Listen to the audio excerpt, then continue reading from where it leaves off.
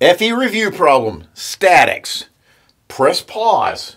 See if you can work it. Find the force in member BE. Only click play when you got the answer. Ready, set, go. All right, are you back? Okay, here we go. I'm going to solve this problem. This should be a very quick problem. Remember, this is we're going to use the method of sections to do this. Remember, the method of sections says you can cut through only three members, no more than three. I'm going to cut it right through there. Okay, if I cut it right through there, I'm only looking at the top half of this free body, so I'm going to get rid of all this. And what do I have? I have a force here, boop, boop, a force there, boop, boop, and a force there, boop, boop, right? Okay, there's my free body. Look at there.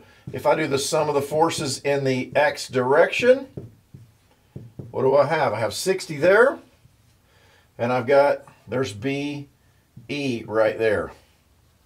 Oh, that I drew that in the opposite direction, didn't I? So he has to go the other way, doesn't he? Boom, boom. So minus BE, therefore BE equals 60 pounds. No work. Okay?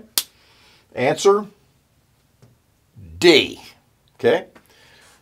See you on the next problem.